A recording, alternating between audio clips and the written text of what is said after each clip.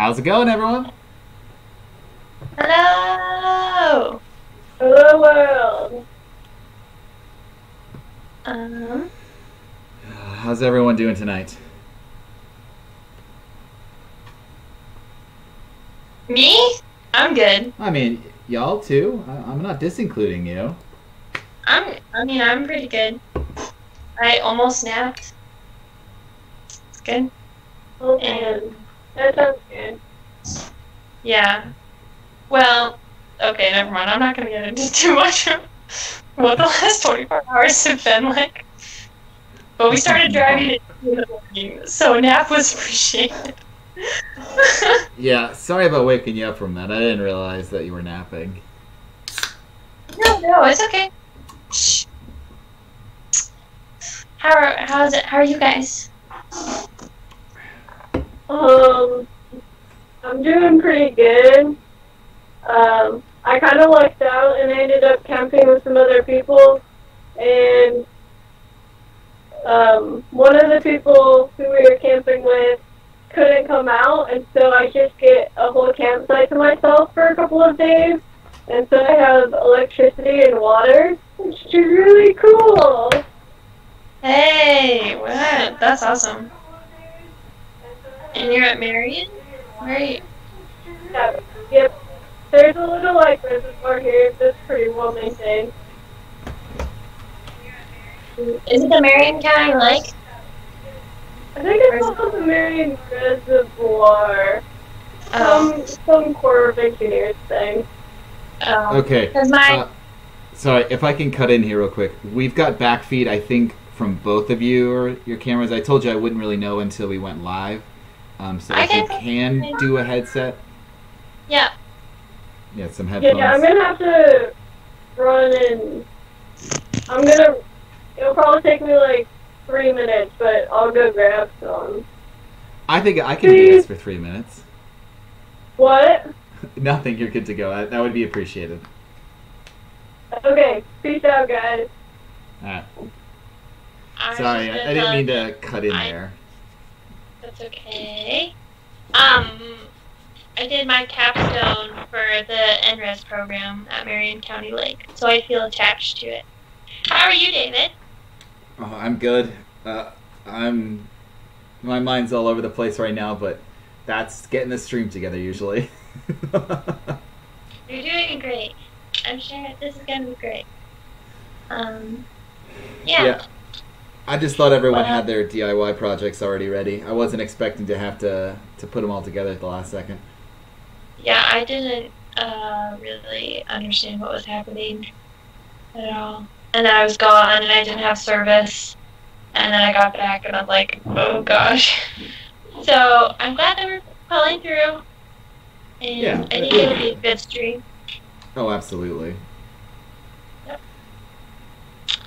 And yeah, I'll hold off on. Uh... Oh, she's back. Okay. Yeah, that was a fast three minutes.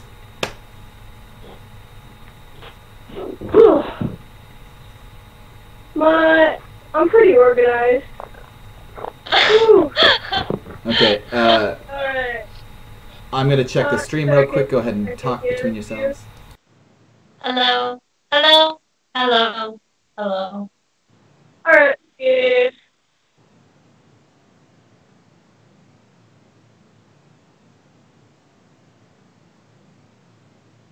So, I can say other things, I guess. So, funny. Sorry, I, I just trying not to not to have backfeed from this thing as well. So, Okay. I thought I was hearing a little bit earlier. It must have been that. Uh, are we? Um. Okay. We're not okay. We're getting there. Okay. Little by little. Journey with us people as we all become a little more okay. Um, Thanks for the encouraging message. I'm reading a book right now and it's, it's really quite encouraging. It's just about, I would classify it as a book about um, mindfulness, but it, it's written from a different perspective. Anyway, it's just like little, little tiny bits of like, you can enjoy these little things, and I'm like, I will try.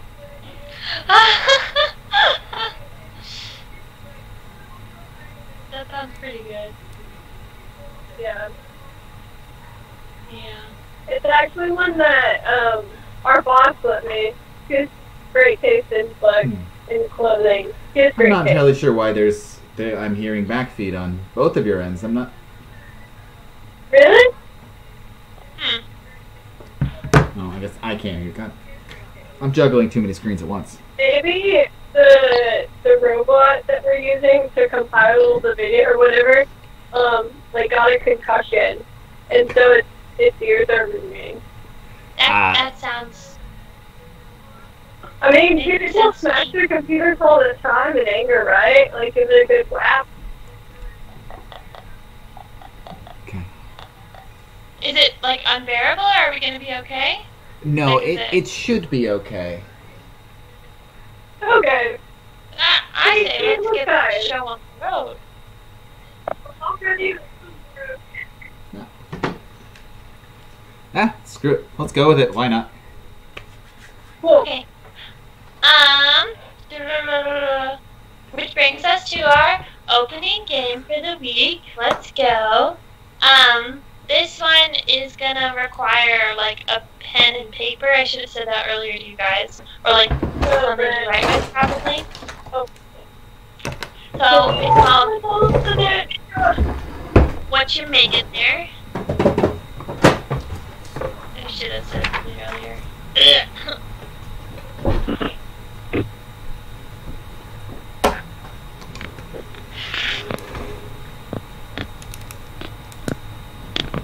Okay, so um, for this Okay. game, what we're gonna do is so it's gonna list any like commonly used garden item, um, such as I don't know this. This is a random rectangle. Um, and then you are gonna have to draw something that could be used like in a DIY style to replace that um, instead of like buying something new. So, Okay. so Yeah. makeshift something or other. Ah, it's exactly what I specialize in. Half baked ideas. Yeah, exactly. um, so do you guys have like your pen and pencil ready? Pen. Ready. Okay. So the first one. Oop. The first one is a trellis. I have to make a trellis. Yeah, but what could you like make a trellis with without like buying new materials for it? Or like some unconventional idea for like a trellis. So it could be like a grapevine trellis, it could be like something just like a bean, like smaller scale for beans or um anything like that. Oh, I thought- oh, I thought you meant like a digging trellis. That's a trap. But, okay. Okay. We're just gonna continue my.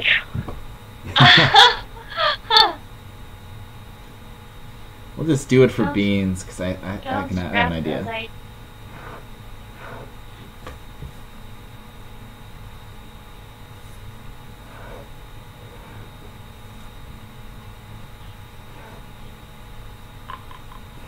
This is really too amusing that I have this uh, irrigation tee that has a little bit of pipe on it, and I'm just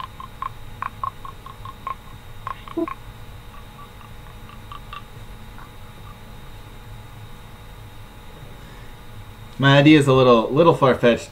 I'm about the only person I know who keeps like an extra hundred foot of rope around just for the hell of it. that. So Okay. Are you guys done? I'm done. Okay. Whoever wants to go first. Alright, so mine, here, let me put that up there. It's like, it's made out of sticks, um, and they're kind of pointed on the end, so you can drive them into the ground. And then there's like a cross, and you could probably put like sticks, uh, like along here if you needed more things for them to grab onto.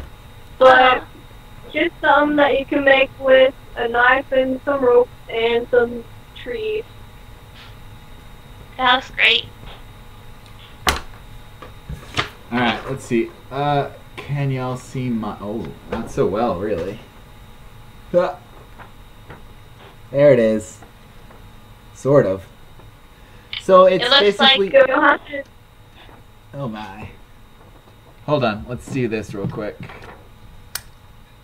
I don't think that really helped, did it? You can just feel describe like it. you're a okay. professor with the you, like the elbows.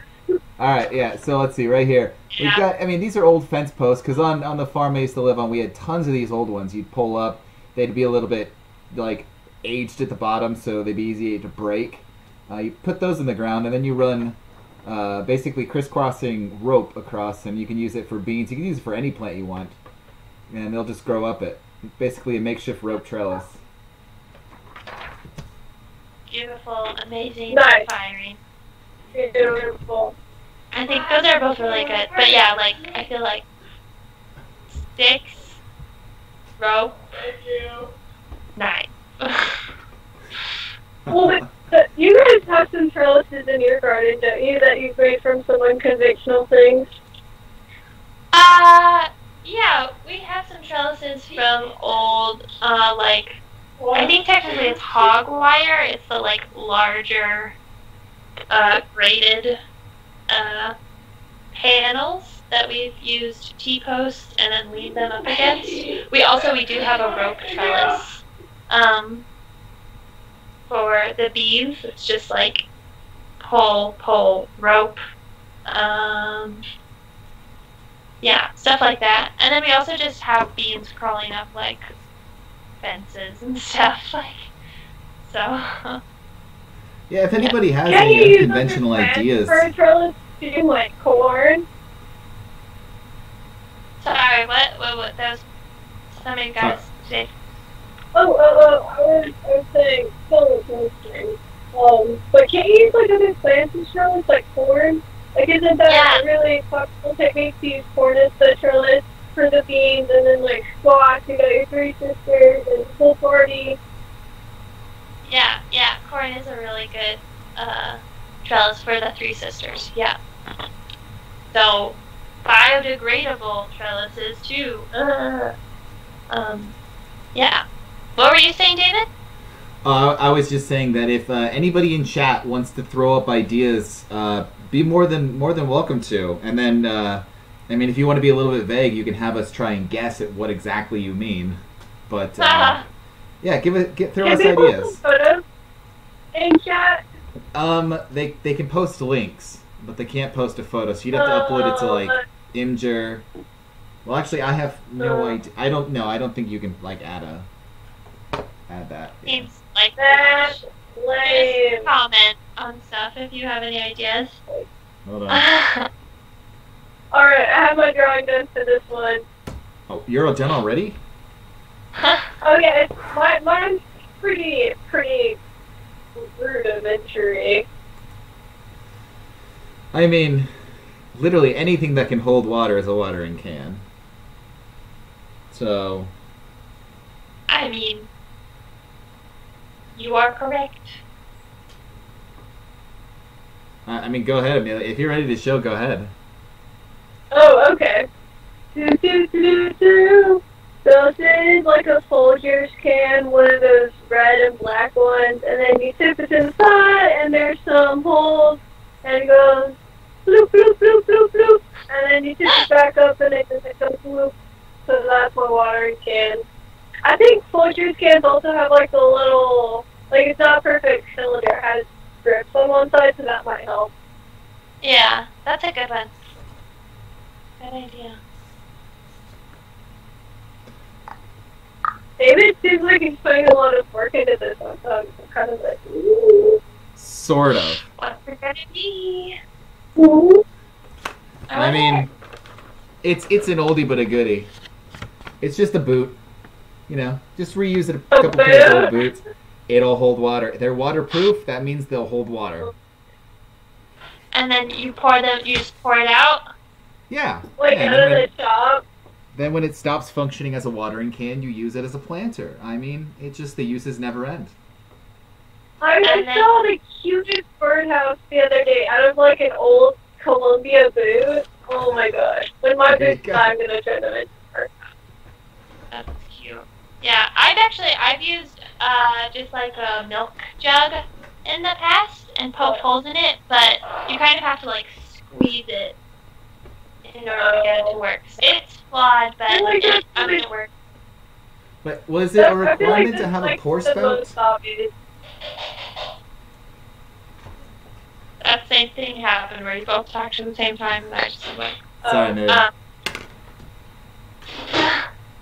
uh, I think David said something about a pour spout though, so yeah, that I think that's important with a watering can. Not necessarily all the time, but it is good to have more of like a rain effect than like pouring a bunch of water out at once because that can move the soil more. So, but also sometimes it doesn't really matter as much as others. So, I just kicked the dirt back in the when the you're hole. first planting something, like a baby plant that you just transplanted, is that when you like really need to be careful about not doing a flood and doing like a dribble? Yeah.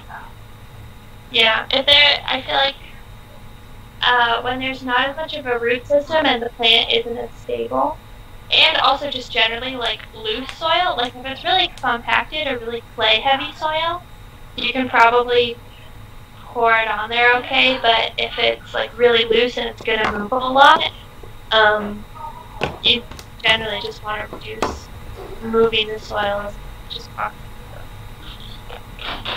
But yeah, good, great. I'm to do the next one. Hey, Justice, uh, if you want to participate in coming up with ideas, uh, you're more than welcome to. Calling him out. My goodness. I wasn't calling him out. I was telling you to participate. Just kidding, Justice. uh, the next one is a fence. So like you can do anything here. Oh. How? What does it need to be able to stop? Mm, that's a good question. I say that we're just we'll just do like a small fence, like a rabbit fence, Okay. something like that. Like it doesn't have to be like people height. It could be shorter. So this isn't like a Trump wall, it's more like a chicken run. Or not chicken, chicken fly. Yeah. No. Yeah. Okay, sorry. How how tall is it? I was. Uh, I mean, Justice has offered to join us on Skype. Uh, do we want to do we want to test the waters and see if the the system can handle it, or should we kind of hold off? I say, uh, let's do it. But if it if it terrifies you, since you're the one that has to deal with all the tech failures, then he can also just like text you um, photos of his drawings if you can show them. Um, I can I can add him in without too much issue. It's just gonna take a second. Oh yeah. Add it in then. Okay. I'm Uh, all for that. Justice, uh, go ahead and add. Uh, tell me what your like. Uh, actually, do you know how to whisper on Twitch? Does he have your phone number? Oh yeah, you can also just contact me via the GroupMe. That would be absolutely fine. That way we're not. Uh... okay, no worries. Uh, just send me your your like Skype username on uh, on uh, the GroupMe, and then I'll add you to the call.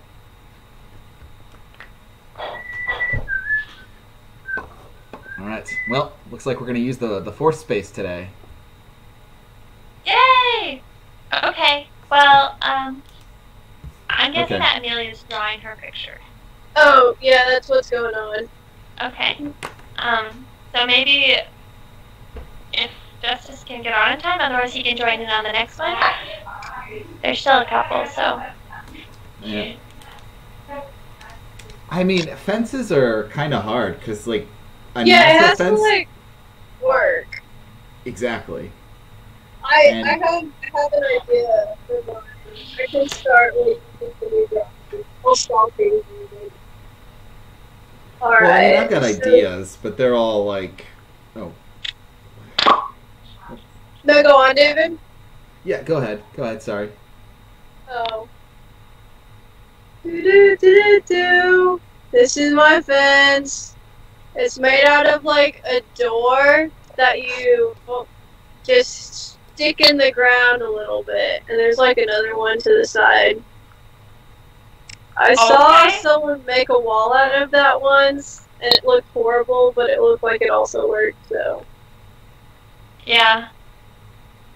It could be cute. You, I feel like if you if you give it a, it gives you a lot of solid space. Like you could paint on it really well or something like that. Oh, it'd be cool to do like murals on it. Yeah. Like it's yeah. really good flat surface for that. Probably not just as doors stuck in the ground, but Yeah. Oh wait, you were talking. I had that idea. Just a bunch of car doors. what the doors? Yeah, no, I loved it. I was gonna do that, uh, but I don't have an What? idea. What really? yeah. Um, All the things in the world. oh, That's- That's junkyards. of funny. Oh yeah. I'm sorry. I, I don't have a. I don't have anything done. I'm, I'm trying to contact Justice here. Uh, I don't know if he's trying to talk to me or what the deal is going to be. Okay. Um. Uh, So- let's. Oh wait. Uh, nope. That's why. Why Skype? Why you gotta be problematic? We just wanna have more friends, Skype. What? What do you have against that? Well, I, I haven't heard anything from Justice, so I don't know if he. Uh... Oh.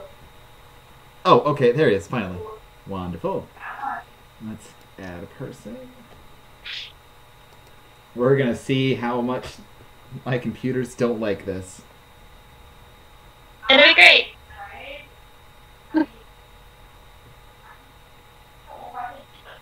We're gonna get backseat. It's gonna be great. It's a sign of progress. Okay.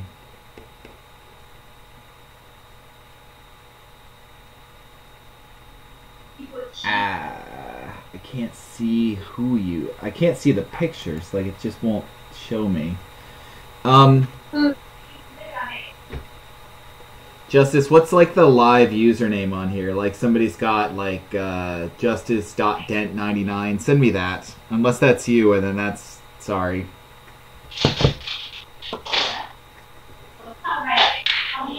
You can bleep it out, at least in the edited version, I guess. yeah, I can, I can always add a nice little bleep.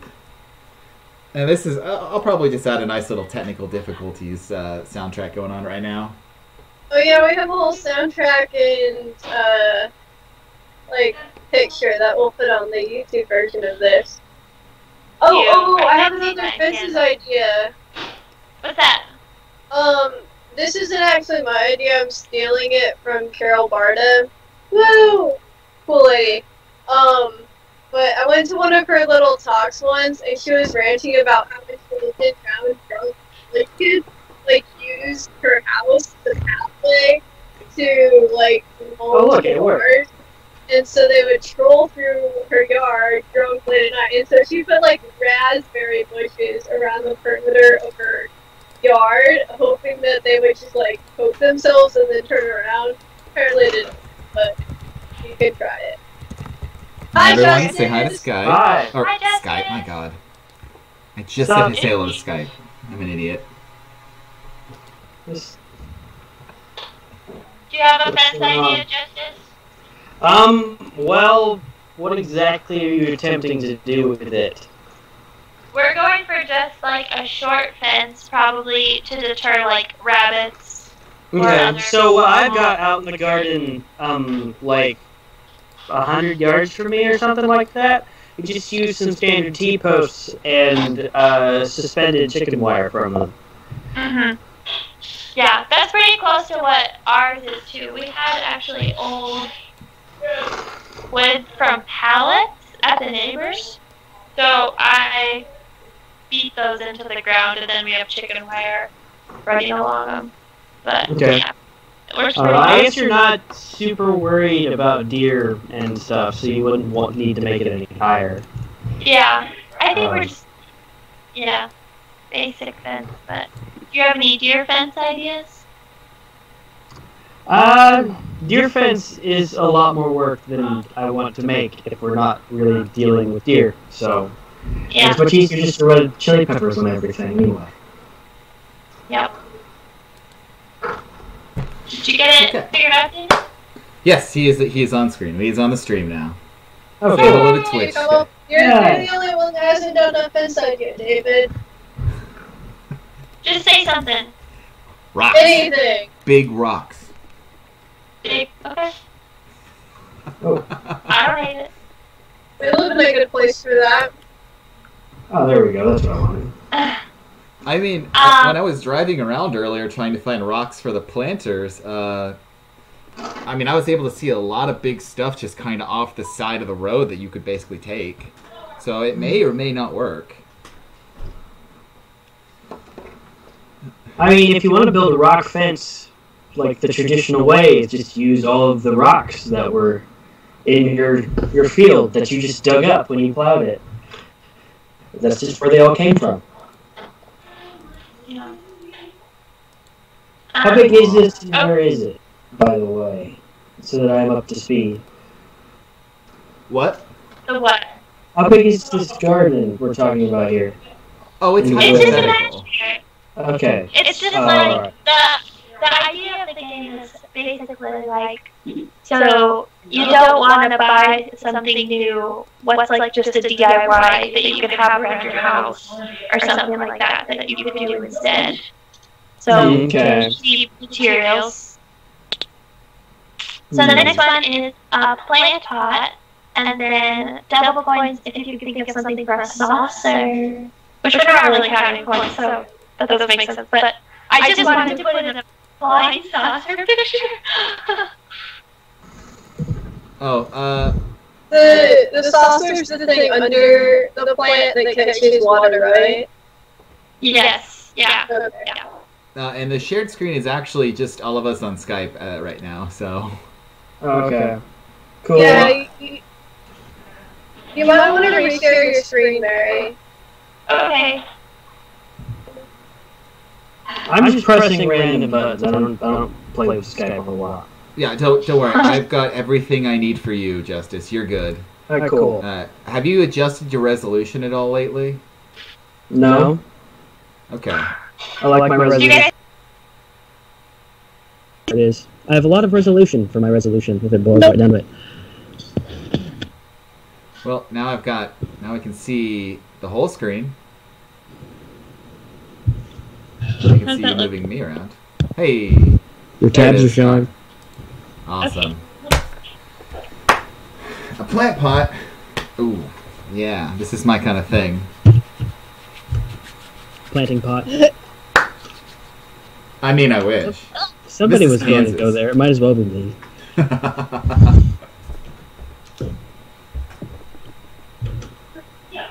Um, do you guys need more time? Do you have any? Um. Oh. Well, I've got one sitting out. Um. So my dad made my mother this nice sign. um, starting out of like a chopped in half log that we, well, chopped in half and burned into it. Huh? Um. Over there, she put a uh, old old metal toy Tonka truck, filled it up with dirt, and then sealed the back end with some like packed rocks so it had some drainage, and then planted flowers in it. And it sits next to the sign over there, and it looks really cool. That's so That's- cute. That sounds so cute. My yeah. heart. I think that's better than the bathtub guy. Um, the traditional reused plant pot around here is like old cow mineral tubs. Lots of things have been planted in old cow mineral tubs. yeah. Um, tires. I have a bunch of pepper plants and some tires back there right now. Um, if I could figure out a way to put it on my phone and like also maintain video feed, I would just like show people, but I don't, and that sounds like a lot of work. So unless you really want me to, then I'll do it. But I don't. Yeah, We'll to. take your word for it. We'll need But- to maybe some other time we could do Yeah. a Justice Garden tour or something. That would be Good, cool. because I'm Oh, like that'd I am absurdly proud of it right now. Yeah. It is so, so fantastic. You we got should. smash green bean. We did like a whole episode of like garden tours, but we should do like a part two. Okay. Um. So I've also got. Uh, but you just take uh, you take an old tire. We used to paint them white for less heat retention. Um, just set them on their side on the ground on the ground and fill them up with dirt so it's kind of raised, and then plant like pepper plants. Or I've got a blueberry bush that's really really dead back there, or uh, cucumbers with cucumber plants. And if you put uh, like two tires side by side. So four tires, one, two here, two here. Stretch, bend a cow panel in half between the two of them for the runners, and you'll have just like this nice little trellis archway that just drips cucumbers all summer. You can do it with cantaloupe too. We've got some cantaloupe back there, but you've got to go in and uh, once the cantaloupe start to develop, you have to use like pantyhose or something, some pliable cloth like that to keep them from getting too heavy and falling off the plant, basically. And hopefully, that will keep the raccoons and the possums from eating all of my cantaloupes because that has been Uh. a significant problem. Yeah. I wouldn't guarantee that. They're crafty little Raccoons buggers. are little turds. Absolutely. Well, I don't know. I've There had to was start hanging my trash because they keep getting into it. Like I was, like I didn't have problems, and then like halfway through this ordeal, they started deciding they wanted to eat my trash. Hmm. I've had I don't know. I think we've got them pretty well cleared out for the most part, or at least they don't come around the house because there was kind of a culling um, before we got laying hens. Because I do not, we do not tolerate polyphages around here. Like my laying chickens are like the greatest thing ever, and any threat to their safety is immediately terminated with extreme prejudice. We don't tolerate this nonsense over here. I've got all these pretty eggs. Wonderful. And you guys were giving me guff about talking about killing like raccoons and possums. You know, we had two raccoons actually come through in the front yard a couple days ago, and of course we were really nervous because the chickens are right uh, over there. Um, and so we set out two live traps, and one of the live traps, the door closed and the food got eaten, and the bars were bent, but there was nothing in there. And then the other live trap had a possum in them. So we have been unsuccessful. in That sounds about right. I've seen uh, raccoons like take tufts of grass from the yard and stuff them under the pressure plates to live traps, so they can just go in there and eat the food and come out. Right? That makes sense because there was like a lot of um we had some like potting mix that was had a lot of roots in it that was just kind of like lying on the ground over there and they had clearly like ripped some of it and thrown it into the live trap. And we were like, what were they doing? That's Whew. Yes, they are very crafty and make very Um, nice hats. Because they'll reach through um, if you don't put your chickens up at night. Like we have all these meat chickens out back that are going to um, get put in the freezer come like this weekend. Um, what raccoons will do is that they'll actually like if they're too if the chickens are too stupid to move like these meat chickens are, um, they'll actually reach through the chicken wire and pluck their heads off, and then like wonder, wait, why did I just do that? I can't get any of the chicken out of this now. And they just pluck the heads right off. terrible. That's why we don't tolerate raccoons. Yeah. Anyways, does anybody have any other plant pot ideas? There we go. Mason jars. Literally my excuse for everything garden related. Mason jars. that's fun. Um, Yeah. I have another Folgers can. I don't drink coffee, so I don't know where I'm getting all these Folger cans. But um, I know I know where you're getting them where from. you put the plant, and then you drill holes in it, and then this is the saucer. And I, I did this once before, and I didn't like put enough space between these two, and it kind of got gross down here. So these are like pennies or something, so that the water has some room. Good plan. I would You- say the only uh, thing about uh, a mason jar is that you have to be careful about root rot if there's no holes in the bottom. Yeah, exactly. But, it's it's for Um, like per, it's for annual stuff, not not for stuff that with the the roots that grow deep. Like if you want to go and get like the annual flowers, you can grow them absolutely fine in um, a mason jar. But yeah, perennials not great. I'll Yeah. admit that. Yeah, just as like a message to folks to think about. Um. Okay, I'm just gonna move on to the next one. A shovel or a trowel? Does anybody know where I can get my hands on some obsidian around here?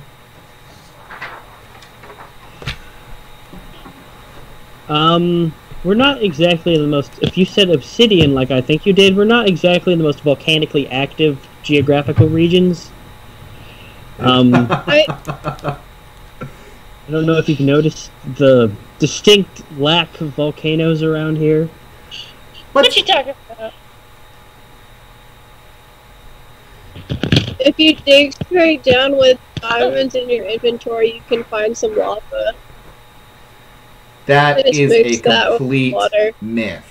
Do not perpetuate the myth that diamonds spawn near lava. Don't do that.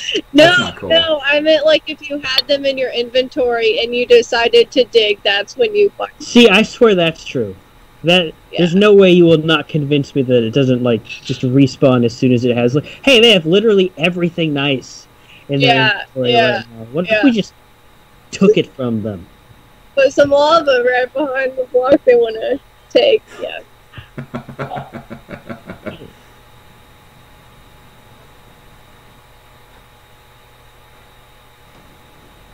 Is it still sharing my screen?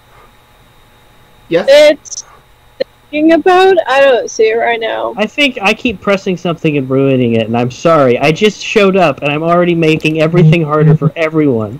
I'm so sorry. Not Justice, don't worry. you- You're not changing anything. Well, at least not for the stream, at least. I can still see everything.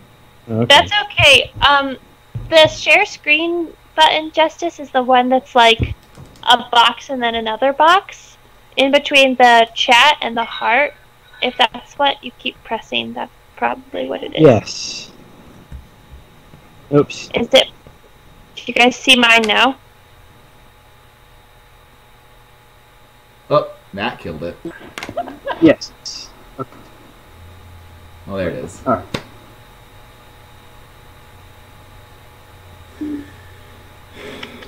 There we go. That's what I wanted.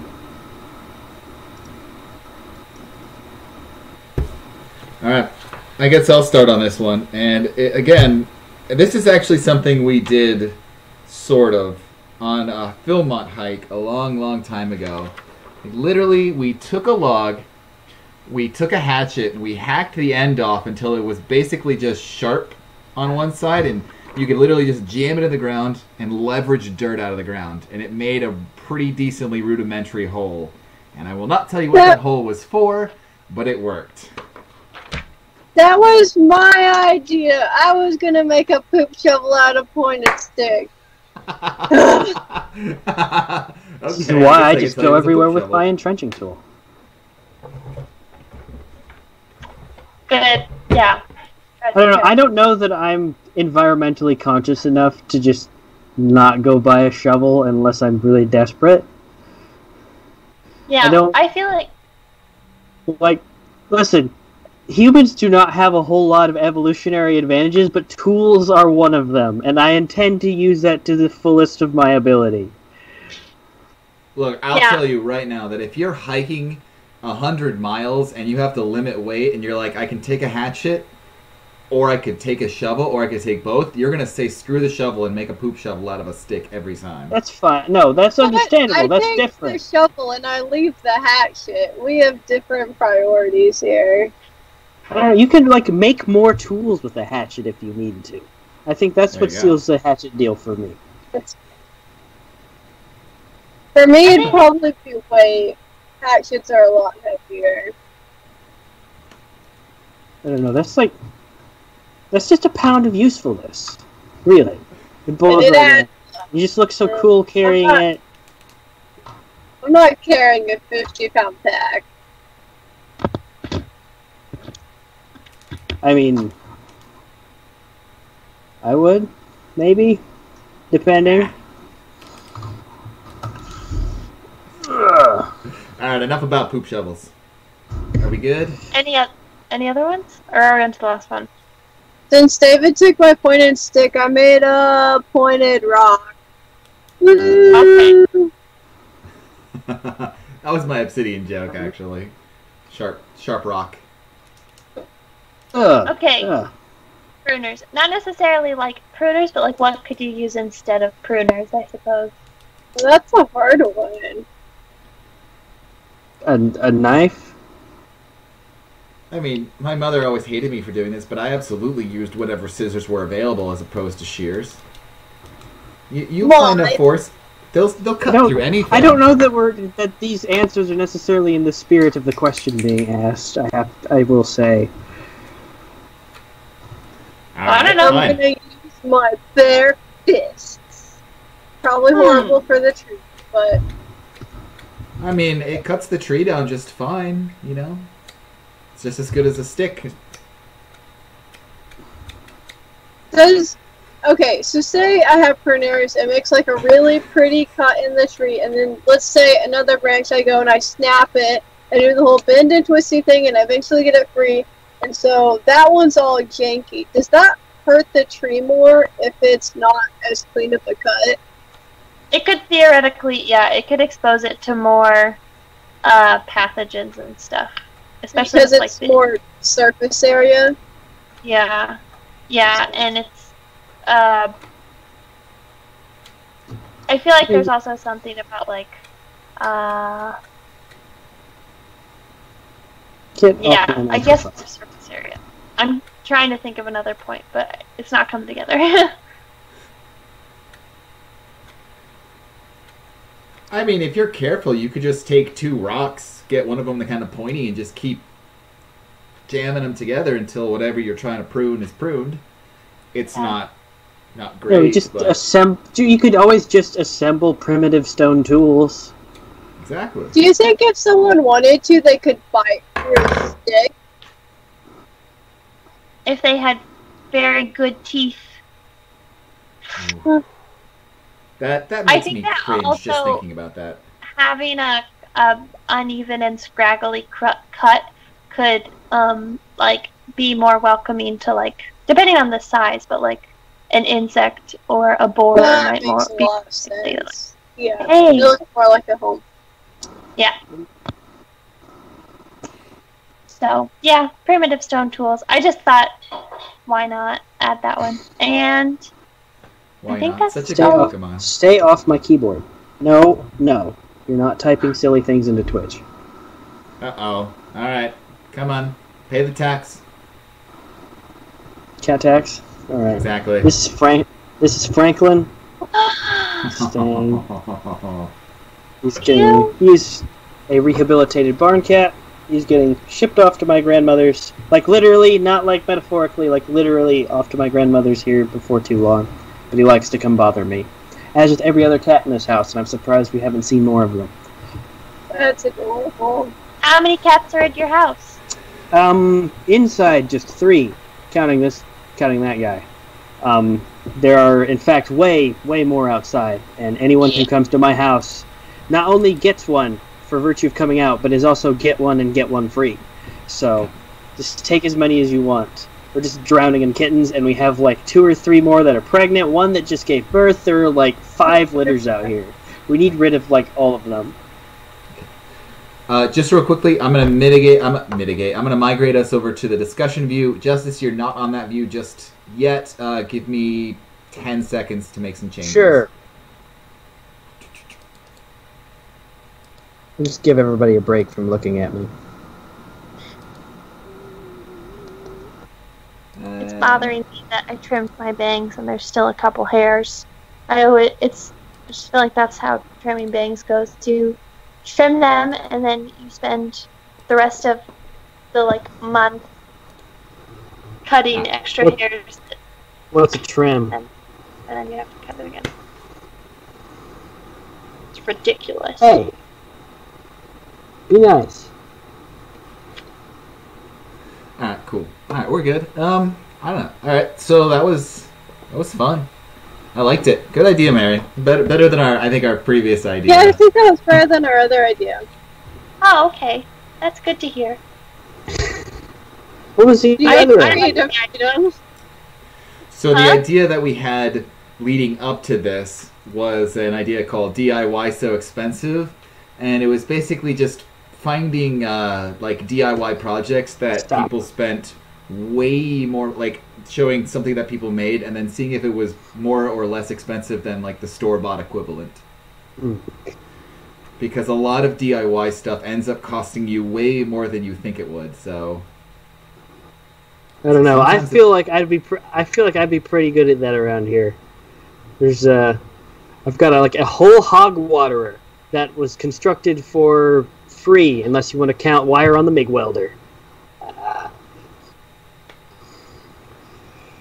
Yeah, That's fair. I, I feel like DIY is like a really great way to make gardening more accessible because I feel like there's a lot of like really cute stuff that you could go and buy, but there's a lot of like probably less cute but very functional things just like around that I think are really important. So, uh, yeah, it was just gonna be like it was. I was trying to research it and my computer sucks and no, it was gonna take way too long. So, um, yeah. all right, cool. That's fair. Um, all right, so uh, do we want to move on to the DIY projects, or do we want to talk about something else for a little while? Um, do we have anything to really talk about? I prefer to get our hands dirty. I think so, yeah. Okay, cool. Um, so how about um, I do the the planters, and then while I get that cleaned up, we'll do your we'll do your uh, you can show off the the uh, the irrigation, and then we'll come back and we'll do my last project. So you're okay? saying me go first? No, no, I'll go 1st You're and then going you go you go Okay. second, and then I'll, I'll I'll finish up with my super janky stuff. Gotcha. Gotcha. Chew on that. Okay. Um, and screech. No, no, no, no. There we go. Okay. Uh, you guys are probably gonna have to check out the Skype in order to see this. Okay. And then let me know if the. Let's see. Can we actually? Everyone can see me. Okay, that's not so bad. Um, it's all right. Is it possible? Maybe. What's up? Maybe like lower your camera down. Yeah. I see. I see like up to the bottom of your arm. Oh, oh, um, n- other camera. The not the ECM camera. Oh, yeah. Hold on. That Well, I help think- you guys see me a little better. Ah, There we go. Yeah, this one, not the, see. not, not this one, because this one's too far away. I don't want to try and adjust it, and then I'll do all the re thing, and ah, it's a, it's a big pain in the foot. All right, so DIY bucket planters. If you have buckets laying around, you've got yourself a really easy, compact way to plant crops. So this is great for people who are extremely limited on space, uh, like apartments. Uh, if you have a balcony, you can plant three or four things and not ever have to worry about uh, where to put it. Just stick them outside, and you can have tomatoes or peppers or any number of crops. Um, so yeah, I guess we'll get started. So the first thing, you want a bucket. You can use the taller one. I've got these uh, these shorter ones because those are the only. I honestly I don't know why I don't have a taller one, but these will do nicely. Um, okay. So the first thing we're gonna do, you're gonna want to take a, uh, a power drill, you're gonna want to get, I don't know, pick a good size, like uh, drill bolt, I, I don't know. Y'all are gonna have to make me, or I, I fail at words a lot, so Bit. help me out. Drill bit, thank you. Yep. Okay, so you're gonna want to take uh, your drill bit and drill, I don't know, half a dozen, eight holes in here. You can do it haphazardly. You can do it, uh, you know, however nicely you want, just as long as there's good drainage. Because we don't want water to be in the bottom of the, the bucket, like Mary said earlier regarding the mason jar uh, plant pot.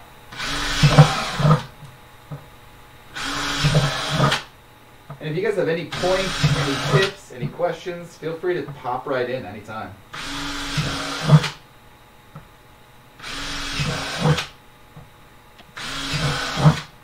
I'll, I'll wait till you're done drilling. I have a pretty solid tip for the peeps. Um, so if you don't have a gallon or some buckets lying around, they're really easy to find. Uh, you can go and ask restaurants for five gallon buckets, Ah. and most of them will give them to you for free. Um, not all restaurants use them, but like Panda Express, their sauce comes in it, or certain burger joints, their pickles comes in five gallon buckets. And so if you go and you're like, hey, can I have your five gallon bucket that you're going to throw out? They're like, yeah, take it. Like, we didn't want to wash it anyway. Um, Freddy's is really good. Uh, or if you want the Hot Springs. smaller ones. Oh, yeah, yeah, yeah. I think that's like three. Um, or if you want the smaller ones that David's using, um, the bakery department at Dillons is really solid. Like they they get a lot of stuff in buckets. Oh, and Dunkin' Don- they're just everywhere, everywhere. Just go and ask. We'll get a few no's, but I recommend it. Yeah. By the way, some of those buckets that you uh, that you left down there, they still have food in them. So that was a nice little surprise. Whoa! You don't love that pickle smell? I think I just I got one of used to my chocolate pudding. like. No, it was, It was chocolate chocolate. pudding frost. then. It was It didn't start that way. I feel like that's a little less bad. Okay. All right. So after you've drilled your holes, I mean, it's nothing too crazy. Like I said, just uh, a few holes. I have seven there because it looks nice. Um, I have always put rocks at the bottom of my of my uh, my planters of any plant pot, and I, I do it mainly because it helps drainage just a little bit. Now I don't know if you actually have to do it, but I'm going to because I always have. Um, it just also helps that moi- keep, uh, keep the moisture like separated from the dirt so it doesn't get trapped at the bottom. Because while this should drain out most of the water that accumulates at the bottom, it won't be perfect. So I always just do a, a nice short layer of rocks at the bottom of everything I do.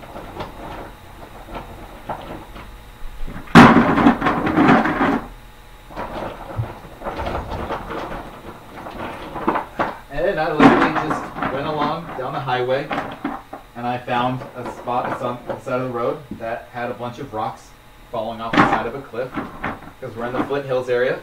And that was it. I just grabbed rocks from there. So you can literally get rocks from anywhere. It's great.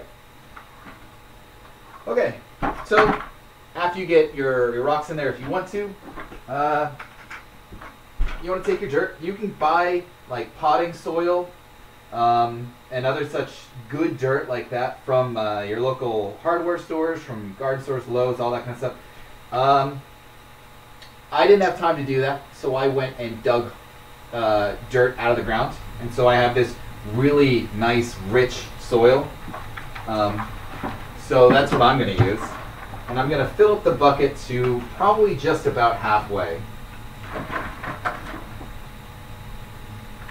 And if anybody else like has any any good dirt tips here, I would appreciate that because me and dirt, I just slap it in a bucket oftentimes, and I go from there. Just make sure it's good dirt. Um, I have had some fantastic success, and watch your fertilizer.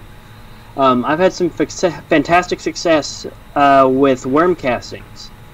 Heck yeah. Uh, so my peppers were uh, getting it were burning up because we used uh, chicken litter uh, from Dad's farm operation to and sowed it throughout the whole garden for fertilizer. Well, that's not good for pepper plants. It's too hot. Um, so they weren't doing very well. Well, we slopped some worm castings on them, and like a week later, they're doing fine now. I've even got some uh, banana peppers on the way. I'm waiting for my cayennes to, to spring out by the dozen, but um, I've got some banana peppers on the way, so I'm pretty happy about that. If you need some worm castings, we don't have a lot here, but we have like half a five gallon bucket. Because we have a little worm bin and all in. How do you how do you Uh, harvest those from worm bins exactly? Yeah, from what I understand, we've never harvested. I know how to get the. We kinda let it go. The juice is the easiest part, but from what I've read online, you just kind of have to like get another bucket and like just filter through it and put the worms in the new one and the dirt in the other one. Oh, okay. Actually, so um, the, I was looking at doing some vermiculture, and like they had a three-tiered, uh, like a bucket system, and I think it was for that because um, if you put like the castings and stuff when it gets to that point, uh, like below, like in the second tier, they'll travel up to the top tier, and then you can just take the castings with all the worms out of it, out of the out of the middle, and then all the juices, of course, in the bottom. Interesting. But the, I don't know why it worked. Um, I'd love to know the chemical processes going on, but I can't believe that that by itself saved those peppers from burning up like that. I planted like uh, I planted emergency peppers in some of the tires. That's why they're out there because I thought none of them were going to make it, and now I'm just going to have lots and lots of peppers, which is a good problem to have. Uh, Um, from my also- understanding, castings are good. Just it's like compost. It's just got lots of nutrients in it from other plant stuff. There's a another thing to go into that. So my garden is done. We decided to do by the square foot this year, which we had never tried. Um, like you can fit a lot of plants into one of those buckets. Like probably if I wanted to plant green beans in those, assuming that there was enough uh, root space, um, in one square foot, which is probably like at least that in one of those buckets that, over there that David's got, you could Oh, yeah. fit like 16 green bean plants in it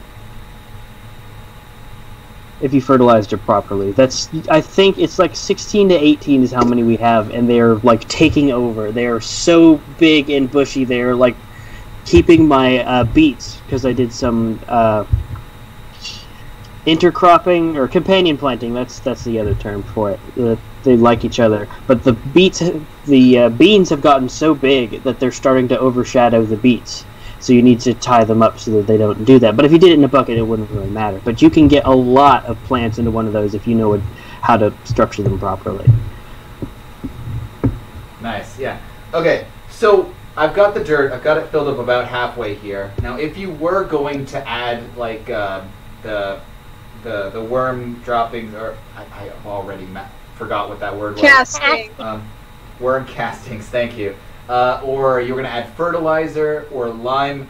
This would be the time to add it because we don't want to add it directly onto the roots because we'll possibly burn the roots, like Justice was saying with his uh, manure. Uh, so we want to add it to the layer of dirt that's going to be underneath the plant, so it can draw it up, but it doesn't necessarily get surrounded by it immediately. Um, so if I had any kind of fertilizer, I would add it now. I don't. This was uh, kind of real last second for me to put together, so I didn't have time to get everything I needed. Um, but yeah, you take it, you just you mix it right in.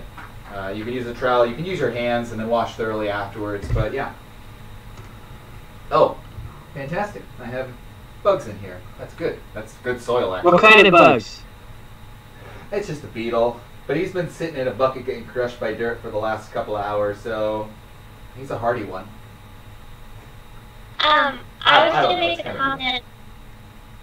I was gonna say that um, I think if you want to use the uh, like dirt from out in your soil, dirt from out in your yard, I mean, uh, in a five gallon bucket for a container, like pests are something to be more aware of, but it also has to do with. I think you definitely want to add that layer of rocks um, because the water table is quite different when you look at the um, topsoil, where it's quite a lot of feet down, versus like um, the limited space. So it's much more likely to uh, get like water bound when you have all that water in a small space. So having really good drainage, um, or just being sure to use like pine soil because it's much lighter is important. So that's all. I appreciate Does it. that make any sense? Yeah. Yeah. Yeah. Just like the drainage is really important to pay attention to when it's the soil because it's much heavier. Compact. hmm Okay, now I should mention that when you put the soil in your bucket, don't mash it down. Just let it sit as is. As you water the plant over time, the soil will settle, um, but it'll settle naturally to the point where it's not crushing the roots. If you press the soil down, the roots won't be able to pe- penetrate as easily, and it'll make it a lot harder for your plant to actually grow properly. So everything here is basically throw it in a bucket. Don't do much else than that. Literally, it's just throw it in a bucket. Okay. So once we have uh, our, if we add our fertilizer and everything, we've got half of our bucket going here. Go ahead and put your plant in. Uh, just rest it on top of the soil that you have there, and then we're going to take more of the soil that we collected or you have in a, in a soil bag, and we're going to put it around it. And again, we're not going to press it in because we don't want that soil to get, we don't want to crush the roots. We don't want to do anything that's going to try and inhibit um, what kind of, uh, or the root growth. So I'll just go ahead and do that. Y'all can chime in if I'm doing something wrong because I can always be doing something wrong. hmm If you want a vocab term that smushing the soil down is technically called compaction, which is like the one thing that I remember from my soils class. Well, Nice. That's cool. And it's very difficult to fix in like yards and gardens and stuff if you get too much of it. I would also imagine that that's a big problem with, uh, like larger agricultural things where you Oh, see yeah. a tractor, because those are really heavy. hmm That's why, um, yeah, my dad specifically like was telling me because I went over and spread some some of that said manure over his uh, organic plots. Um, to go within, I try to go always within the same tracks to minimize that compaction. Because basically, what you've got to do if you have too much compaction for proper soil drainage is you have to take a ripper um, with like four long tines and just rip all of the soil up, like to a depth of like three feet, three or four feet or something and it's just a pain, and you don't want to do that. So minimize your compaction. It is also why you should not park cars in your yard all the time, because that compaction will ruin your foundation. All of the all of the houses on my street, uh, um, that are next to my house that have all of the that is next to the uh, football stadium, all have people pay to park in their yard, and all that soil compacts and has ruined all of their foundation. So they spend all the money that they make on parking in fixing their foundations for soil compaction. Well, that really sucks. yeah. Um, Oh. there is in like a smaller farm scale one permaculture thing that I've heard repeated by a lot of folks. Um, like like potato forks in order to aerate the soil is something that a lot of um, like small scale and I don't know about in containers, but uh, like potato forks which have the like really four or five really big ti- tines. There's a term for it, but like you can go and you can kind of just chunk it, um, which isn't going to solve all of your compaction problems, but it might help get some oxygen to roots. we should make like hot air balloon tractors that like, just like float over the field and then like got the I can't. How how many balloons? How much cubic feet of helium would you need to carry like a disker or something Oh. behind it? Too much. These are. I these are kind of, I kind of imagine it like to pull things. That it's like there's a rope at the other end and a motor like pulling it this way. But I think you need like a really big balloon for that, for the weight. Yeah, that'd be rough.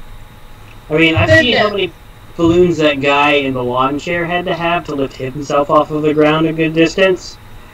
Oh, I'm But- thinking like a hot air balloon. I don't know. There's not. I guess you wouldn't have to have it like too far off the ground. Yeah. The best solution is like hovercraft. Somebody just needs to invent hovercraft, and then we won't have to worry about this. Or maybe we could like lasso a cloud and just like pull up on the rope and like swing above the crops like Tarzan. It's a possibility. Probably. Start working on it. Make it so. All right. Good idea. So now, if you're using a lot smaller tomato plants, we're actually using some tomato plants here that are quite far along. Thank you, Mary. Um, uh, you don't want to cover up much of the stem. And this one, we can probably go a little higher. Um, but I think you want to cover from basically where the roots start. I think you want to go one to two inches uh, and cover with dirt. That'll help keep stability on the, the tomato plant going up. But it's going to vary by plant absolutely. So you may want to, you know, if you're wanting to plant peppers, uh, I can't tell you exactly how you want to plant peppers. So you may want to have a look up a guide and see exactly how you want to plant that.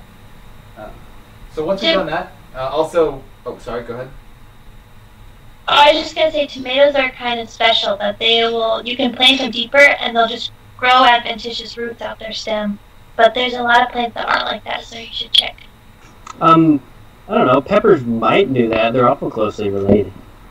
Yeah, I'm not. I've never seen a pepper do it, but I don't know. I'm just postulating. I have absolutely no idea. No, I don't know either. It's it's worth a Google.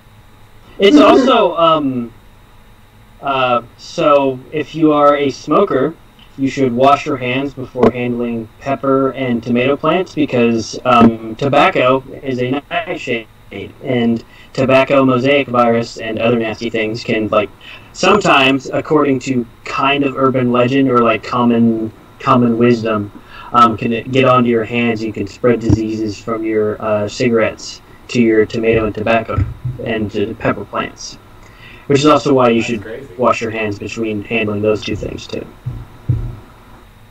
Huh. Is that urban I did not know legend, that. I feel like that's just. You can actually, just like that Simpsons episode, you can cross tobacco and tomatoes. Yeah, yeah, they're all very close. Anyways, David, did- were you? What was your? Yeah, I I was. Uh, thought I was just gonna keep going on. I know you're good. All right. Uh, so once you got your soil in, technically your tomato plant is ready to go. You can water it, and it's 100% ready to go. But if you live in very, very like sunny, warm climates, like the middle of Kansas, uh, something you can do to help mitigate the moisture loss from the soil is add a mulch on top. So that's going to help keep the moisture in the soil um, and it also help prevent any kind of uh, growth, like uh, uh, God, grass, uh, any kind of weeds. But I mean, it's already in a bucket. That's not really going to be too much of an issue. So it's really about keeping the moisture in the soil. So we'll just we'll add a very a very thin layer here. Not even well, not even that thin. Just you know, half an inch layer. It also looks good, so I can't argue about that. All right, there we go.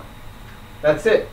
And there you go. Now you can put this out on a balcony. You can stick it out on your front porch. You can put it pretty well anywhere. And hopefully, as long as it doesn't, you know, go haywire, you'll have tomatoes soon. Yay, tomato! Indeed. Actually, these are already flowering, Mary. You gave us the good ones, the real good ones. Yeah, there, there, there's so many volunteers.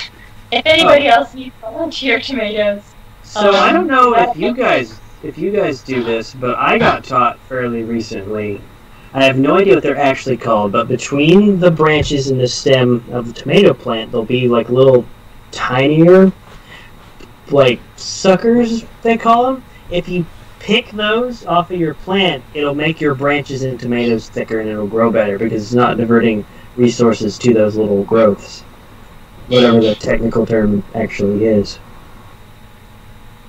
I uh, It'd be like right between the stem and the branch. that like an axial butt or something? yeah, I have feel like I- absolutely Learned about this. Yeah. Pruning, pruning tomatoes is definitely a good idea. And also, like, uh, I think you can also, like, if it's, um, like beefsteak tomatoes, or there's going to be, like, a bunch on a row, you could take one off, green, make some fried green tomatoes, and then hopefully they'll get bigger. That's another idea. I was gonna say, yeah, you can absolutely like prune anything that's kind of dead off that plant. I there wasn't much, but I figure we'll just we'll prune it and give it every good chance it can have. All right. So, What's that? DIY planners. Mary, are you ready to, to show off um, the best dam irrigation system ever? Uh, oh, hi. Uh, hi. Yeah. Okay. Let me. Uh, uh, uh, okay. So I'm gonna go outside and hopefully it's not too um uh, bad. Hopefully the connection's okay. But just let me know if it's like unbearable. Um, because I'm gonna show you guys our new drip irrigation system and kind of talk you through like the DIY of that. Um, because it is DIY, it did require like the most new resources that we've completely bought for, for this entire like kind of a lot of new stuff. But uh, yeah, let me turn the camera around. Is that okay? Okay. Uh, so this is our drip irrigation system. So this is half of it, and then we have two more rain barrels on the other side. So we have the downspout coming in here, and these actually we got these off of Facebook Marketplace. They're twenty five dollars each. Um, and they used to carry like hot dog casings, which is like intestines. I have, yeah, I Um, actually have that exact one. Is my is on my pig water. Is a barrel Yeah. used for, for bratwurst casings. They're fantastic. Yeah, I Can't recommend them enough. I think that there's a place in Junction City. But anyways, uh, yeah, so these are really good. They're 65 gallon drums and they're pretty durable. So we just have, this is kind of holding it down, but we just cut out um, a little spout and put a flexible downspout into that so that it could um, get in there, but like trying to reduce the amount of open space so that mosquitoes can be limited.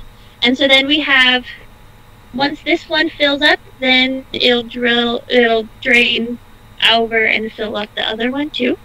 Um, and then on all of them, we have spigots that, and we used um, a silicone caulk in order to secure both the spigots and the um, PVC that's holding them together. So then, um, the big thing with drip and also with irrigation in general if you are not going to have, which we kind of wanted it to be passive, both just for like to reduce the electric need for it and also just for ease, um, pressure is going to be a huge thing. And so, one of the best ways to get pressure is uh, just using gravity, like water towers. Um, so, actually, we've learned that these kind of need to be up higher than they are because um, we're not getting this is all new, so it's not getting to the end of our garden. So we need to rig either these up much higher or we need to figure out a pump situation. Um, but all of that to say, uh, ooh, it's still doable. It's just like pressure is something that's really important to consider. And, we tried to get them as high as possible, and it still needs to be higher. So these are the same what Justice was talking about. They're um, mineral buckets, um, and they have uh, uh, um, what am I thinking of? Cinder blocks. Cinder blocks like these stacked up under them um, in order to provide support. And then we also got these little T filters because with rain barrels you're going to get a lot of stuff whatever comes down the downspout. So you want to be sure to have some filter. And then we just have a conventional garden hose going around. You, that's another thing. You want it to be as short as possible so that whoop, it doesn't um as the longer the hose the less pressure you're going to have i'm i don't remember the actual thing but a certain number of feet it's like equivalent to reducing a psi so coming over here here we have the attachment garden hose to a converter into a half inch poly um, tubing and then we have an L going here. and then here is our system, which goes all the way down the main part of the garden. Um, so basically, we have, since we kind of have a pretty chaotic garden, um, instead of having like emitters go directly to certain plants, we just spaced it evenly two feet because, ooh, kill a mosquito. Um, the stats that we learned was that large rooted plants, you can have them be a foot away from the emitters in drip irrigation, and small plants you want them six inches away. So we placed them two feet apart, so that the furthest away a plant will be is a foot away. Um, and then we planted, we put emitters every foot. So this is our emitter. Um, this is just kind of the classic uh, drip emitter that, that will puddle up here, spill out on all sides of it. Um, there's lots of different emitters, um, and these are two gallons per hour. So that's the important thing. So um, yeah, there's five emitters on this side because it's smaller, seven emitters on this side. Um, so it's seven feet and five feet. And yeah, I mean, that's pretty much it as far as this goes. Uh, we have really good pressure on the first part of the bed and less and less pressure going towards the end. But much- we're working on it. So How Once much further would you need to raise the uh, barrels to get adequate pressure all the way through, like optimally? You know, I'm not. I'm not actually fully sure. I took irrigation last semester, right before I graduated, so I'm gonna look into doing some actual proper calculations. Um, but, but I'd have to look it up. But about every foot, you're going to get a certain amount more of pressure. So the higher you could get it, really, in this situation, we're kind of limited by like how we're like the weight of having and the ease of having suspended 65 gallon drums. Um, yeah, but we're gonna try to see how high we can get them. Um, yeah, and this is the other one comes from those rain barrels over there. We actually cut. We had this really long black hose, and we cut it in half to be the proper length that it can just go. And this one's actually undone. So we should really have this taped off, but I wasn't the one who did it. So. Um, but yeah, one thing with drip irrigation is it can get clogged really easily if it's there's open wounds basically. So you want to make sure that everything's closed off um, to prevent clogs. Um, but yeah, this will just plug right in. Actually, that's why. It's not. It doesn't have the um, hose thread on there, but we'll just get that, and then it'll do the other half of the garden. Um, so yeah, another thing that we're learning is that so we have two two drums on each side, but for one watering, one drum it isn't going to be enough. We're going to need to use both in order to like fully soak the soil um, because of how big the garden is. So uh, it really it's one watering is in two of these things. So um, hooray for climate change and more unpredictable weather. Maybe one day we could have had. I'm getting attacked by mosquitoes. Sorry, I'm like trying to kill them. Um, in another time, maybe it would have been easier to have more regular rains and. Anyways, but Kansas is always on. Never mind. Okay, that's all. That's awesome. That that's Yeah, awesome. that's, that's, that's great. incredible. It's interesting that you're talking about having your irrigation class. You had like an equation for like feet and height in like piping, because like in my transport phenomenon class, like we we also did a lot of like, oh, you have a giant bucket of water. You want it to go this far. What's the pressure? Like that was drilled into my brain. So it's cool that like we're learning the same stuff, but for very different reasons. Yeah. Hey, that's great. Yeah. That's Alright. really cool. Uh, talking to the chat here, does anybody have any questions? I know I posted that uh, that question in chat. Nobody's responded yet, but also maybe people just aren't uh, aren't looking at chatting. So yeah, if you have any questions, either about the tomatoes, the irrigation, or the upcoming project, just throw them in chat. Don't be don't be shy. There are no bad questions. There are only stupid answers, and those answers come from me. So you know. I feel like that could be another one of your openers. We have I eat questionable food, and now we have there's no such thing as a dumb question, only stupid answers that come. I'm I'm full of terrible, terrible lines. This is this is absolutely And true. half baked, half baked ideas. Half baked good, half baked ideas. We should put together a, a David Quotes book. That would be I so don't good. make I things. just have like a a cartoon version of you on the front, and you're like with your most scraggly of beards and your most like scraggly of shorts. Oh, I love it. like lessons from David Williams. from David.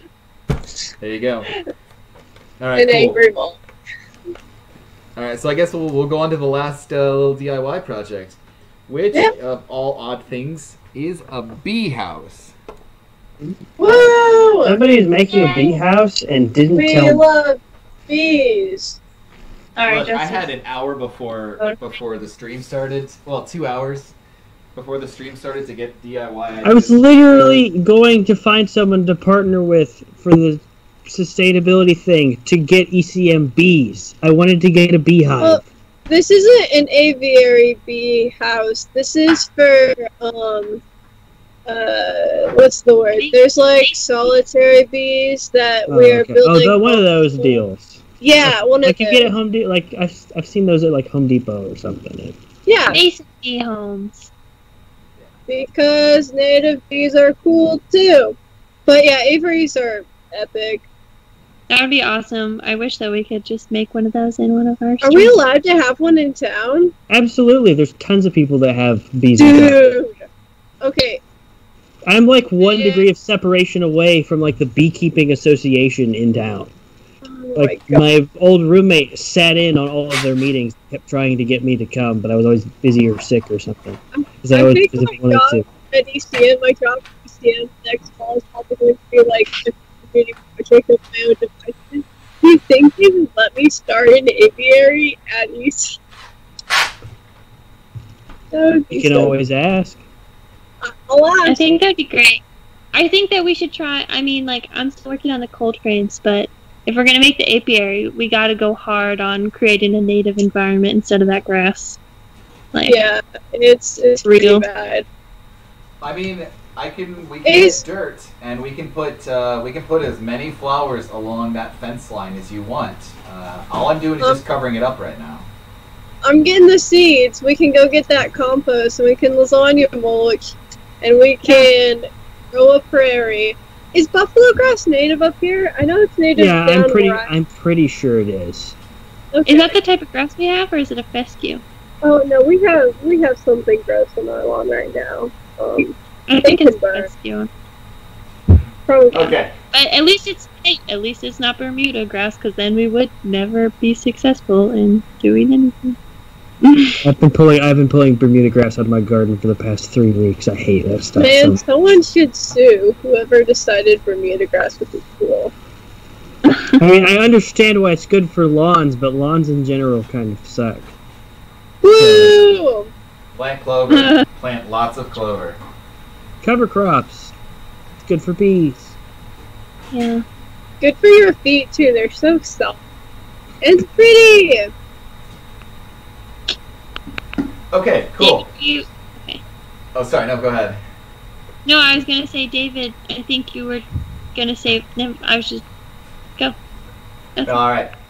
Um, so I had I don't know. I, I think we decided to do the secondary DIY project about literally an hour before the stream started, maybe an hour and fifteen minutes. Uh, but this is going to be a bee house made entirely of crap I have pulled out of our basement. So Crap being a technical tubing- term. Crap being a technical term. Cardboard tubing. Uh, I've got some three-quarter inch uh, pipe or PVC pipe. I've got some inch and a quarter PVC pipe. Um, Don't really want to use these, but if we need to kind of finish out having stuff in the the bee, we have uh, toilet paper tubes. I really don't want to use that. Um, I, I don't know. Did I? I said we had these paper these paper tubes, uh, but they're pretty thick. They're pretty actual good cardboard. Uh, and I cut them in half because I didn't really want to be cutting out. I only have a handsaw, so I don't have a table saw. So cutting out all of this by hand already makes it look janky enough. I didn't want to do big long cuts like that. It just wasn't going to work out well.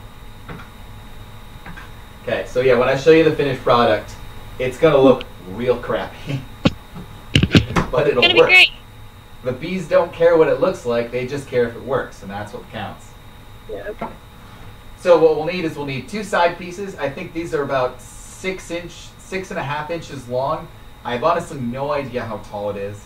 Um, it's the width of the board, and I want to say it's probably it's probably. Oh God, I don't know. Hold on, I I'm an idiot. I have a, a ruler here.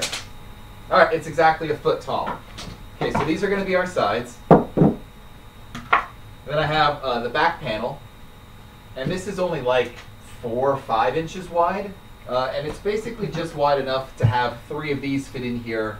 Okay. Um, I wanted a more vertical look as opposed to wide. Uh, don't ask me why. That's just what I chose. Um, and then I have a top piece and a bottom piece, and this is all we need to build a bee house. So it's actually quite simple, and honestly not a huge pain in the butt. Um, so the first thing that you would want to do is if you have these long foot long tubes, cut them in half or however long you want them to be. Uh, if you want a slightly deeper bee house, I don't know the optimal length. Mary, uh, Amelia, do either of you know the optimal length for a, a uh, for a mason bee? Uh, I think there's okay. So there's. Is this the thing about six inches? Like, if you all make them longer than six inches, they all turn out as guys? It is. so- I think it is something like that. I think six Okay. inches. So during the sustainability retreat with England, we had like a really epic discussion about these, which will be on our YouTube channel hopefully before the end of summer. Woo, I'll get up. Um, but uh, just take into consideration when you're making a bee home that we're making a home for this little creature, and they have needs too. Um, and if you don't meet their needs, you are kind of like tricking them into a false sense of security and they will die. So, do some research! Yay! Um, these I, are, I didn't have time to do research. That's what fair, yeah. for. yeah. yours But- seems really good though. That it's about about six inches deep, isn't it? Yeah. Yeah. Do they need to be shorter? No. Because I have PVC cutters as well as uh, a box cutter here. I can make these different lengths. I think I think six that- inches is right where you want to be. Yeah. I, I think Really? that the actual the differentiating one is we've talked about um, having different size holes, different like diameters, so that because different species like different width of holes, right? So Yeah. um, having a variety of sizes can be a good thing. Or like two I or lucked three. out on that. What? Oh, I totally lucked out I was on gonna that. say if you don't have it, I don't think it matters that much. But for folks who Yeah. are watching this and getting inspired, Yeah. Um. So also, I, I'm using like uh, I don't know, half inch chipboard here, which is probably not the best thing to be building a bee house out of because it is not extremely sturdy, not by a long shot. So what you'd likely want to use is something more like uh, untreated two by eight, or something that's a lot thicker and a lot sturdier, um, and then actually use a table saw to cut it so you get proper cuts. Um, but this worked in a pinch. All right, uh, so we're just gonna put it together. Honestly, um, I would encourage you. I, I can't. I literally can't uh, glue these together. If um, because as as all you, I'll show you guys it real quick. So as you can see, not everything kind of fits in beautifully. It was a very janky cut. Um, so I wouldn't be able to glue these together and then screw them in. So right now, I basically did my best judgment, and I drilled holes uh, through. I drilled hole through all the wood so I can uh, I can screw these wood pieces together without splitting them. So you'll see what I've got screws here. Basically, all I did was take this, kind of know where I would be screwing, and then just go straight through. And then on these side ports where I'd be screwing into it, because you don't want the board splitting, uh, I also drilled down in there. Um, so that, that helps your screws set better. It also helps it from you know breaking apart. So good stuff. And now I've lost a screw. I'll, I'll, I'll probably put my knee in it somewhere. Oh well. No. I have more. No, no. I'm not saying I'm going to do it on purpose. There it is. I just said it was likely. Don't do it by accident either. I found That doesn't make it any better. Okay, cool. So I'm gonna I'm gonna screw this together, and uh, like I, I did this all by memory. Um, basically, it just needs to be a box that has one open end and covers the top, so that whatever you're putting on the inside, it doesn't get rained on. Um, you can make this a lot nicer too. This is a very, very simple, quick build. Oh, uh, yeah, we'll try not to hurt myself, but I can't guarantee you that.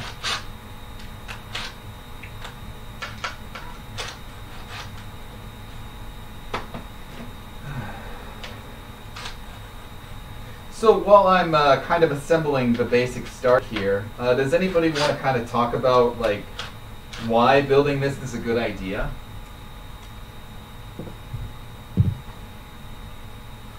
Um, well, uh, there's these things called plants, and they feed us. They feed you and me, and they feed the animals that we eat, and most everything on Earth, like, relies on either, like, plants, like, to eat. And so they're kind of important, but in order for plants to have babies, they have to have a helper called a pollinator, and bees are really common pollinators. Like bees are really cool. They pollinate a lot of plants, and there's even plants that are only pollinated by bees. And so, if we want to eat, we need pollinators. Additionally, um, as you probably know, bees aren't doing great right now. We put a lot of things in the world that are bad for them, and so these houses are just like a power up to help their population, to help our food. Um, additionally, they're specifically helping native populations because even though we can bring in European honeybees and they will buzz around and they'll make us honey, um, we are like it, it's helpful to those ecosystems that we are trying to maintain, like the Konza and those plants, to have their specific friends that they've known forever, the native bees. And so that's why we're making these houses for them, for our friends, for our food, for our future. Okay, that's all. Um, I have one a- thing. What? Oh, uh, I was just gonna add to that. Um, um, the reason that we're building like these kind of structures is that back in you know pre, uh, you know times, um, pre-industrial agriculture times, I suppose, and um, pre our civilization, um, like the prairie would naturally have empty rods, empty sticks, are like cut off, you know, uh, big grass, and they have the hollowed out um, stem that the bees would naturally burrow into those, but um, because of habitat destruction um, and because we just don't have a prairie here anymore, we have houses and wheat fields. Um, they don't have anywhere, and so that's a big reason that mason bees, particularly, they just they don't have enough uh, hollowed out stems to nest their uh, to nest in. So, um, yeah, it's kind this is kind of like a makeshift stem. What do you just think of it being like? What were you gonna say, Justice? Oh, um, I have this neat little anecdote. Um, all these greenhouses were trying to figure out ways to pollinate tomatoes. Um, and they figured out that the pollen can only get in the flower of a tomato plant if it's vibrating at a certain frequency.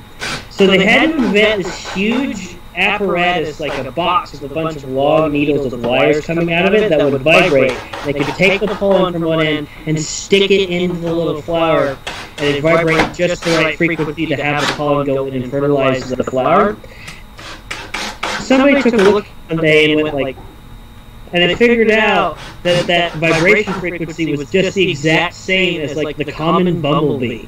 So they just started putting bees in their greenhouses instead, so they didn't have to have all these workers sit there and pollinate all these flowers one by one. They could just have bees do it.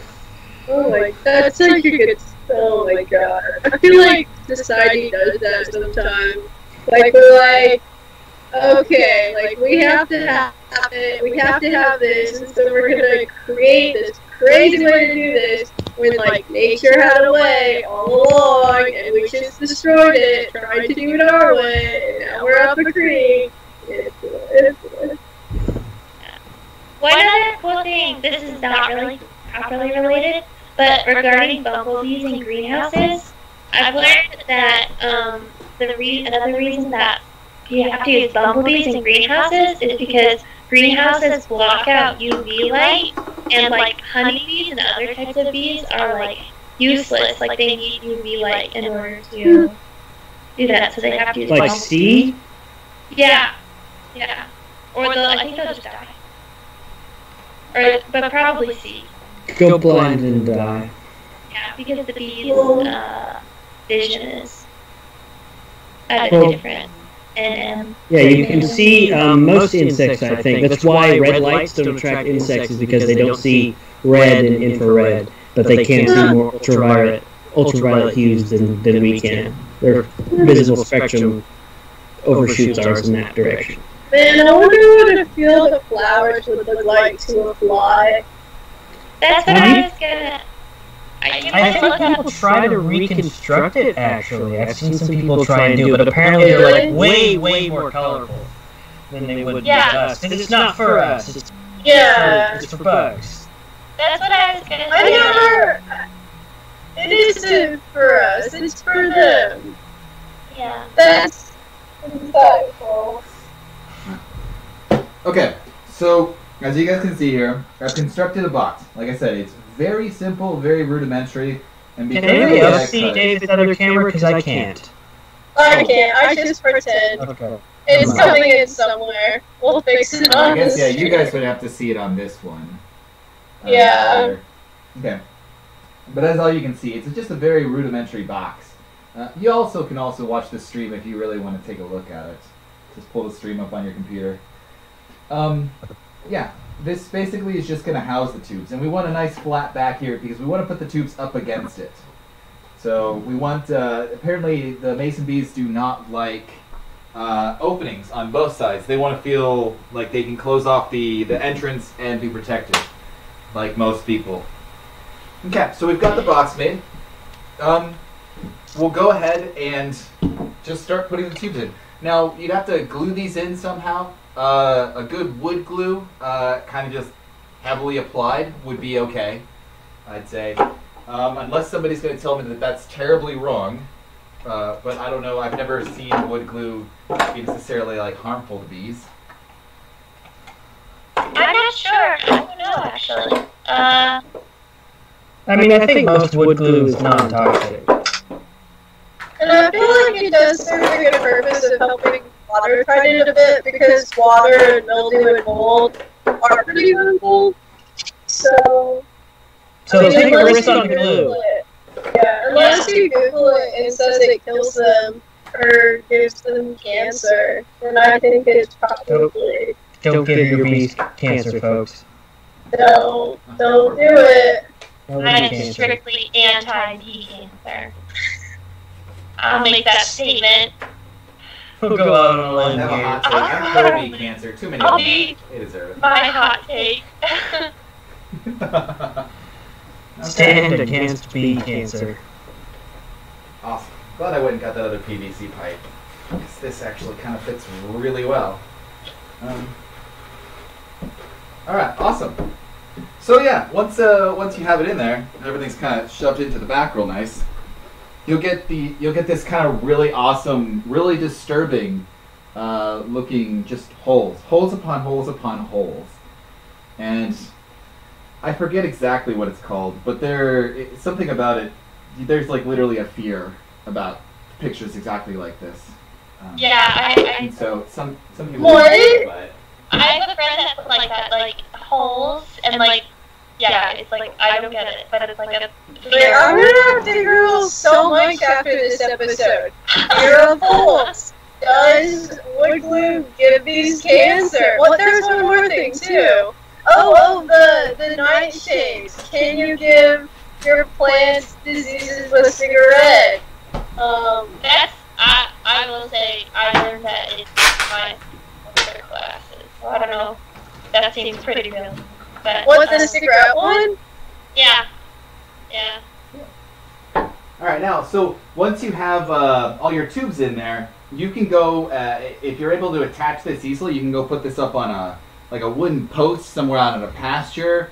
Uh, attach it to a tree. Um, you can kind of put it anywhere, and hopefully the bees will move in. Uh, as long as you haven't done anything too crazy to it, I'd say.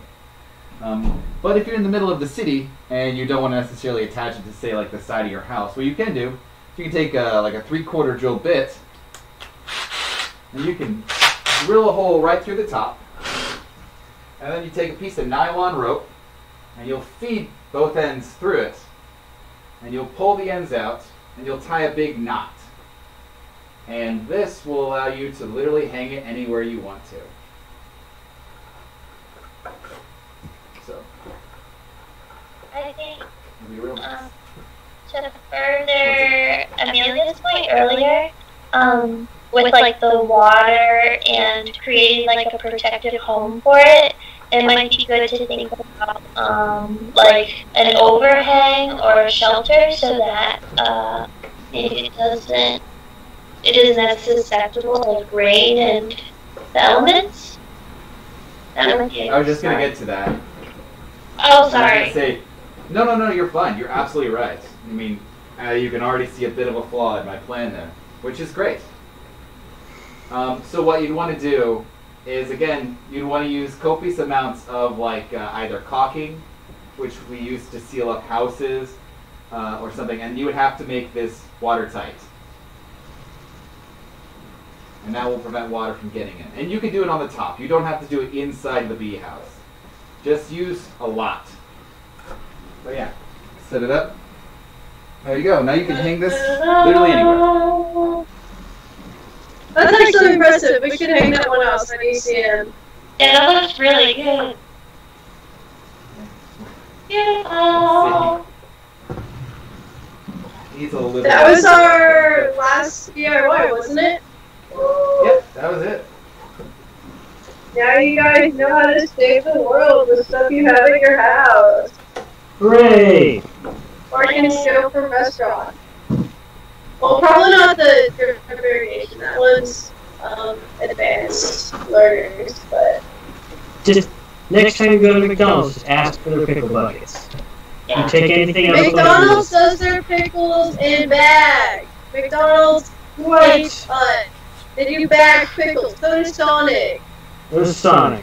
Next time you go to Sonic, ask for pickle buckets. Boycott bagged pickles. Not really, but Speaking of things that McDonald's does, I learned this weekend that they cover their fries in beef tallow. Did you know that, Amelia? no, I Uh, was a they, vegan. they don't like anymore. a year and a half, I still ate their fries, so oh well. Yeah, I I've eaten their fries all these years. I, I Are, are you gonna stop eating their fries? Um, probably like, not experience of it. I, I don't believe they do anymore. Uh, I thought they Oh. used a vegetable oil. Uh, it was one of the reasons why why people say that uh, McDonald's fries used to taste better because they cook them in beef tallow.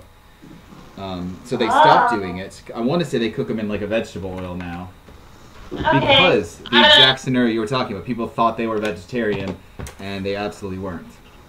Yeah. Man, people thought they were vegan and they weren't. We thought they were just harmless potatoes and salt. I Drenched know. in a little bit of oil. Ugh, And we were so naive. And It's not a big deal. The system I know. Trick. According to McDonald's. Oh, sorry. Okay, okay. Okay, according to McDonald's, they say that their their fries are cooked in a non-hydrogenated blend of sunflower and rapeseed oil, which is 100% suitable for vegans. Now, this is McDonald's we're talking about, so you can take that with a grain of salt. Uh, Ah, but, so- uh, oh, well, there was no pun intended there, but I'll take it. Uh, but yeah, I mean, I, I'd say unless that McDonald's is being very shady, they're likely you're you're okay to eat the fries. Okay. Well, I have learned twice this weekend. I learned. Every Friday, yeah. Um. Interesting. Okay. Um. Yeah, are we ready for like announcements and stuff? Uh, yeah, yeah, we can Uh, absolutely talk about yeah. that stuff. Okay. Well, I was just gonna give a shout out anybody in the chat if they have any announcements, or during Real Food Live, I like to say if you have it in kind words to share, whatever. I don't know what I say. Something like that. You can put it in the chat. But on this Thursday at six, I'll be on for Real Food Live, six p.m. What are you making this week? I was just thinking. I don't remember. um. And I don't a have surprise. Oh, oh, we're doing. I sorry, I don't remember what the main thing is, but we're doing the dessert puddings, which I'm so. Oh, the excited Noah's Ark pudding. I remember looking at. I might have to come to town today.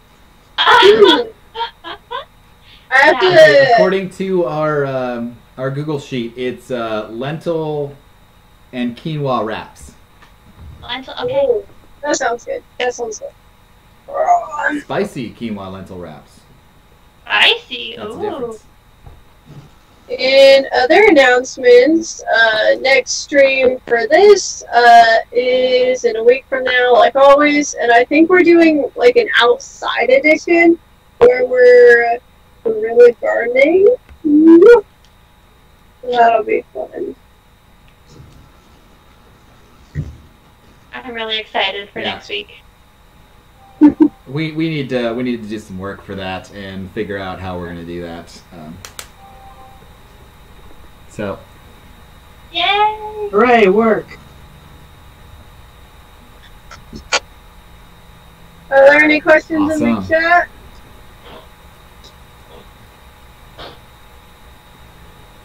uh, no, nobody's asking any questions. Uh, oh well.